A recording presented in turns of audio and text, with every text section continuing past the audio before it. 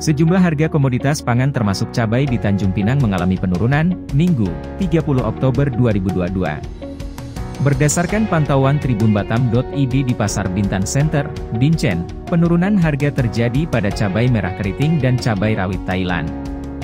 Di mana per kilogram cabai merah keriting dibanderol Rp55.000, dan cabai rawit Thailand Rp60.000 per kilogram. Sebelumnya pada pekan lalu harga cabai merah keriting sempat naik dan berada di angka Rp64.000 per kilo, sedangkan cabai rawit Thailand tembus Rp80.000 per kilogramnya.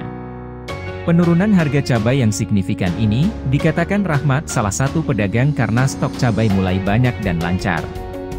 Setiap hari kita masuk terus cabai, jadi stok ada terus, dari tempat kita ambil harganya juga sudah turun, ini kita ambil yang dari Sumatera, ucap Rahmat, Minggu, 30 Oktober 2022.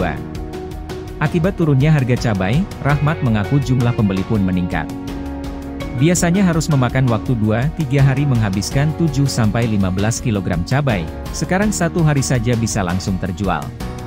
Pas cabai mahal pembeli dikit, ada yang beli cuma seperempat, paling banyak setengah kilo. Sekarang mereka malah memborong, banyak yang pesan ke saya juga, ada yang 5 kilo, itu biasanya mereka jual lagi di warung, kalau ibu rumah tangga paling banyak mereka beli 1 kilo, kata Rahmat.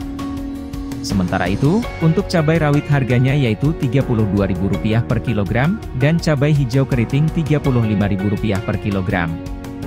Sekian harga cabai untuk tanggal 31 Oktober 2022.